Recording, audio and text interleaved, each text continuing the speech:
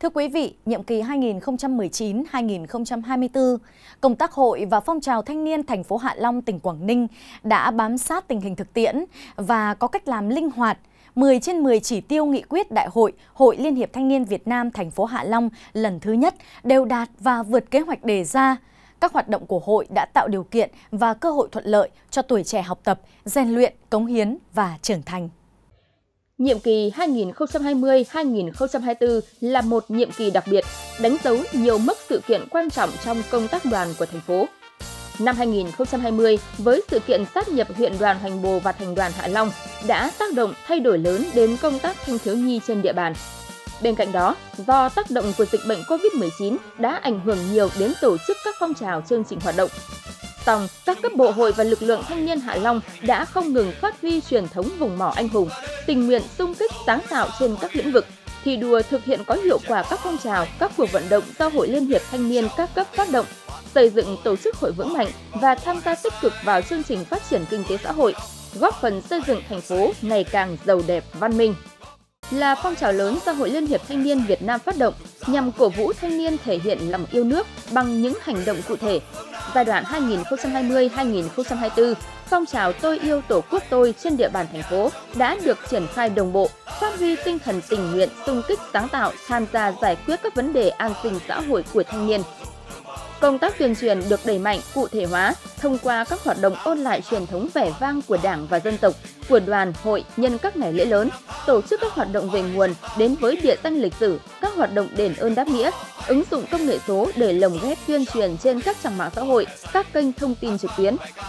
Công tác giáo dục pháp luật cho thanh niên hội viên cũng được các cấp bộ hội quan tâm thường xuyên đổi mới nội dung phương thức giáo dục như sinh hoạt ngoại khóa, tổ chức mô hình phiên tòa giả định, duy trì các câu lạc bộ tuổi trẻ với pháp luật, đẩy mạnh tuyên truyền trên mạng về các tấm gương người tốt việc tốt, cuộc vận động thanh niên với văn hóa giao thông, chương trình mỗi thanh niên một cuốn sách làm bạn. Qua đó, nâng cao nhận thức cho thế hệ trẻ về trách nhiệm, nghĩa vụ tham gia xây dựng và bảo vệ Tổ quốc, hình thành và lan tỏa trong thanh niên lối sống đẹp, sống có ích. Được bồi đắp lý tưởng cách mạng và giáo dục pháp luật thường xuyên đã giúp thanh niên Hạ Long hình thành bản lĩnh vững vàng, không ngừng rèn luyện và học tập sung kích tình nguyện, đảm nhận những việc khó, nỗ lực hết mình góp sức xây dựng quê hương. Tình yêu Tổ quốc được thể hiện từ những việc nhỏ như tham gia lễ thắp nến tri ân, thăm hỏi tặng quà người có công với cách mạng, gia đình chính sách nhân ngày thương binh liệt sĩ 27 tháng 7 và các ngày lễ lớn, cho đến những việc thể hiện bản lĩnh trách nhiệm lớn lao của thanh niên đối với đất nước, trong nhiệm kỳ qua, đã có hơn 1.000 thanh niên của thành phố lên đường tổng quân thực hiện nghĩa vụ thiêng liêng bảo vệ vững chắc chủ quyền Tổ quốc. Đồng thời, lực lượng thanh niên cũng tích cực tham gia các phong trào xây dựng an ninh cơ sở, toàn dân xây dựng đời sống văn hóa ở thôn khu dân cư, toàn dân bảo vệ an ninh Tổ quốc trong tình hình mới, góp phần giữ vững an ninh chính trị ở địa phương. Các phong trào tình nguyện vì cuộc sống cộng đồng được duy trì thực hiện đã nhận được sự tham gia thực hiện của đông đảo thanh niên, trở thành hình ảnh đẹp của thanh niên đối với cộng đồng xã hội. Nhiều chương trình tình nguyện đã trở thành hoạt động thường xuyên, tạo sức lan tỏa mạnh mẽ và dấu ấn đậm nét như chương trình tình nguyện mùa đông và xuân tình nguyện, trao tặng quà và hàng nghìn chăn ấm áo ấm giúp trẻ em có hoàn cảnh khó khăn được đón Tết thêm đủ đầy ấm áp chiến dịch thanh niên tình nguyện hè với 5 đội hình tình nguyện gia quân hỗ trợ tiếp sức mùa thi, phối hợp với các trường đại học cao đẳng triển khai các hoạt động hè tình nguyện trên địa bàn thành phố. Là lực lượng nòng cốt đi đầu trong công tác bảo vệ môi trường và ứng phó với biến đổi khí hậu, các chương trình thứ bảy tình nguyện ngày Chủ nhật xanh huy động hàng chục nghìn lượt đoàn viên thanh niên tham gia bóc xóa quảng cáo giao vặt sai quy định, thu gom xử lý rác thải, trồng mới và chăm sóc cây xanh, làm sạch cơ quan đơn vị, vẽ tranh tường, tủ điện, chỉnh trang đô thị, đổi mới diện mạo không gian khu dân cư, hướng dẫn nhân dân phân loại rác thải sinh hoạt và xử lý rác thải tại nguồn, tạo hiệu ứng xã hội, thu hút nhân dân trên địa bàn cùng tham gia, bước đầu góp phần xây dựng nếp sống văn minh đô thị. Nhiều công trình phần việc thanh niên như bê tông hóa các tuyến đường đất, xây dựng tuyến đường kiểu mẫu, lắp đặt khu vui chơi cho thanh thiếu nhi, xây dựng nhà văn hóa thông minh được tích cực thực hiện góp phần nâng cao đời sống văn hóa tinh thần cho hội viên, đoàn viên, thanh thiếu nhi và nhân dân địa phương, giúp các xã đẩy nhanh tiến độ xây dựng nông thôn mới kiểu mẫu, nông thôn mới nâng cao. Hành trình thầy thuốc trẻ làm theo lời bác tình nguyện vì cuộc sống cộng đồng được triển khai hiệu quả, với trên 30 chương trình khám bệnh phát thuốc miễn phí và tặng quà cho bà con nhân dân, trẻ em các xã khó khăn. Các đợt gia quân hiến máu tình nguyện được tổ chức thường xuyên trở thành nét đẹp nhân văn của thanh niên thành phố.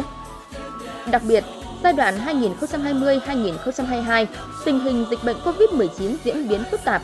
thanh niên Hạ Long đã phát huy sức trẻ, tinh thần chủ động xung kích hướng về cộng đồng. Các đội hình tình nguyện của thanh niên có mặt trên tất cả các mặt trận phòng chống dịch, từ những y bác sĩ trẻ tại tuyến đầu cứu chữa người bệnh đến các chốt kiểm soát dịch, khu cách ly, tham gia các chốt trọng điểm tập trung đông người như chợ, công viên, khu vực công cộng,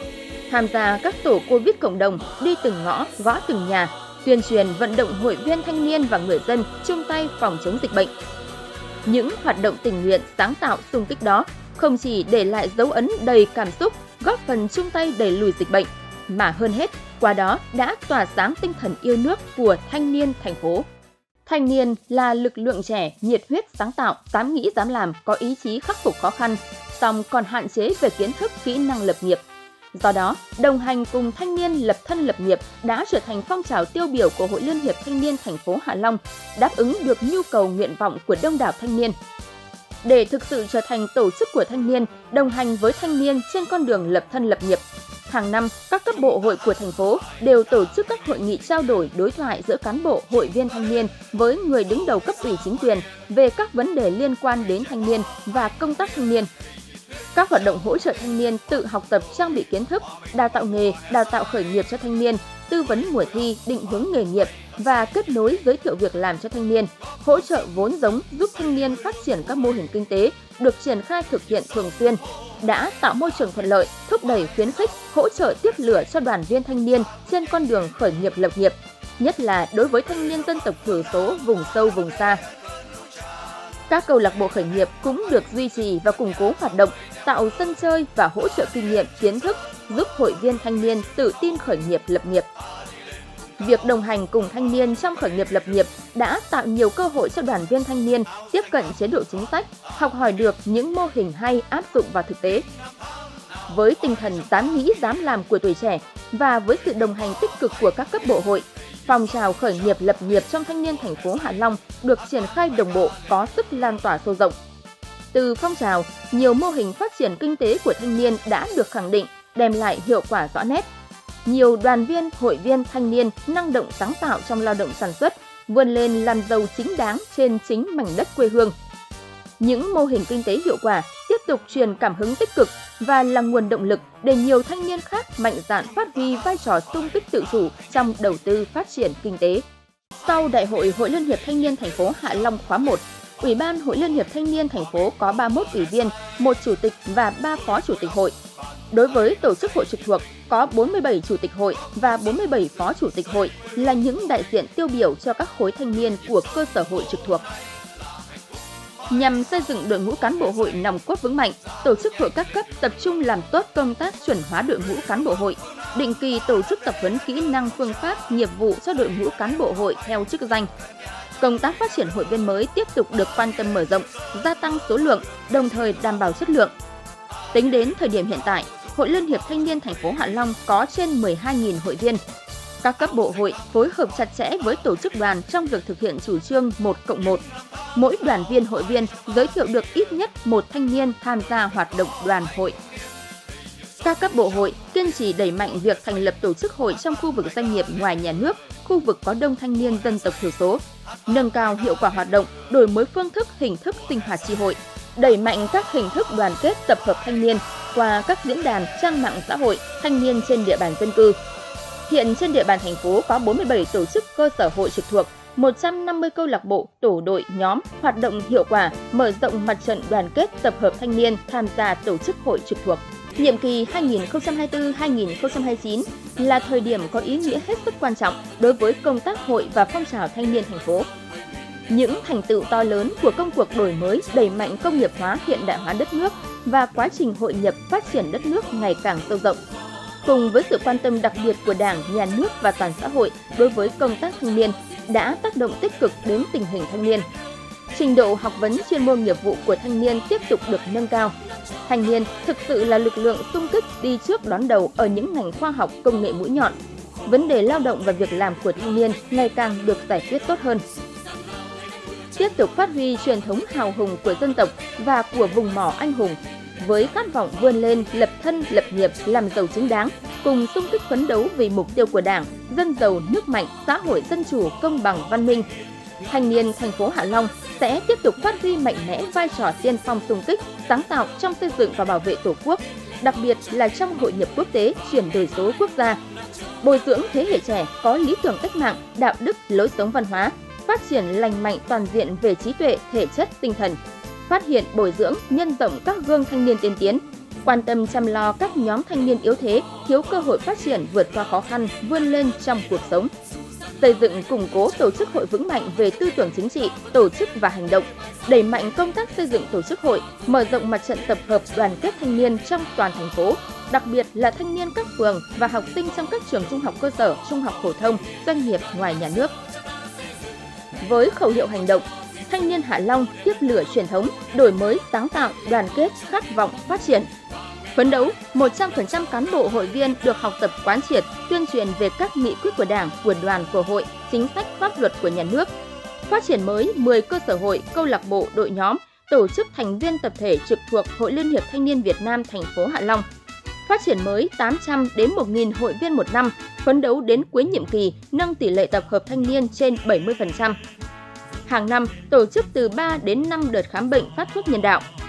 Tổ chức 5 đến 6 đợt hiến máu tình nguyện quy mô lớn, vận động từ 1.500 đến 2.000 thanh niên đăng ký hiến máu, thu được từ 1.000 đến 2.000 đơn vị máu. Các cấp bộ hội tổ chức ít nhất 30 cuộc tuyên truyền phổ biến pháp luật cho 5.000 thanh niên trên địa bàn thành phố mỗi xã phường đảm nhận giúp đỡ ít nhất một thanh niên đặc thù, thanh niên khuyết tật, thanh niên hoàn thành xong án phạt tù, thanh niên chậm tiến về nghề nghiệp, việc làm, tái hòa nhập cộng đồng. Hàng năm, phối hợp giới thiệu tư vấn việc làm cho từ 300 đến 500 thanh niên, tổ chức ít nhất một hoạt động tạo môi trường sáng tạo cho thanh niên khởi nghiệp, giúp đỡ từ 3 đến 5 mô hình thanh niên khởi nghiệp trong một năm. Mỗi hội viên tham gia ít nhất 4 hoạt động tình nguyện trong một năm đẩy mạnh công tác thanh niên tham gia chuyển đổi số trên địa bàn thành phố. Mỗi năm có từ một công trình cấp thành phố và 5 công trình cấp cơ sở liên quan đến chuyển đổi số. 100% các cấp bộ hội trong thành phố có công trình phần việc mô hình thanh niên trong xây dựng và phát triển văn hóa con người Quảng Ninh gắn với xây dựng và phát triển văn hóa địa phương. Động viên thanh niên tham gia học tập ngoại ngữ tin học, mở từ 20 đến 30 lớp dạy ngoại ngữ tin học miễn phí trong năm hàng năm tổ chức được ít nhất một lớp tập huấn kỹ năng cho cán bộ hội. Trong nhiệm kỳ mới này, Hội Liên hiệp Thanh niên Việt Nam thành phố Hạ Long đã xác định 4 nhóm chỉ, chỉ tiêu cụ thể để triển khai thực hiện. Đó là nhóm chỉ tiêu về công tác tuyên truyền, giáo dục, về phát triển thanh niên, đồng hành cùng thanh niên và công tác phát triển hội. Trong đó chúng tôi cũng đưa ra các giải pháp chủ yếu để triển khai có hiệu quả bốn nhóm chỉ tiêu trên. Thứ nhất là tiếp tục thực hiện phong trào Tôi yêu Tổ quốc tôi, thể hiện lòng yêu nước, sung kích tình nguyện vì cuộc sống cộng đồng và an sinh xã hội. Thứ hai là thanh niên sẽ tiên phong tham gia chuyển đổi số toàn diện. Thứ ba là thanh niên tham gia phát triển văn hóa, con người, giàu bản sắc Quảng Ninh, góp phần tham gia chấn hưng văn hóa. Và thứ tư là tập trung vào công tác phát triển hội vững mạnh, trọng tâm là công tác cán bộ hội, trong đó thì đặc biệt chú trọng đến hai nội dung Thứ nhất là công tác đoàn kết, tập hợp thanh niên. Thứ hai là phát triển các câu lạc bộ, tổ, đội, nhóm, các tổ chức tập thể trực thuộc Hội Liên hiệp Thanh niên. À, tin tưởng rằng với tinh thần sung kích, tình nguyện, đoàn kết, sáng tạo trong nhiệm kỳ 2024-2029, Hội Liên hiệp Thanh niên Việt Nam thành phố Hạ Long sẽ tiếp tục có những bước phát triển mới, thực sự là tổ chức xã hội rộng rãi của thanh niên tự hào với những kết quả đã đạt được trong nhiệm kỳ qua, tin tưởng vào sự phát triển lớn mạnh của tổ chức hội trong nhiệm kỳ tới. Các cấp bộ hội và thanh niên thành phố Hạ Long sẽ tiếp tục tạo ra các phong trào thi đua sôi nổi thiết thực hiệu quả, cống hiến sức trẻ, quyết tâm thực hiện thắng lợi nghị quyết Đại hội đại biểu Hội Liên hiệp Thanh niên thành phố lần thứ hai, nhiệm kỳ 2024-2029 góp phần tích cực thực hiện thắng lợi nhiệm vụ xây dựng thành phố Hạ Long kiểu mẫu, hiện đại, giàu đẹp, văn minh, nghĩa tình.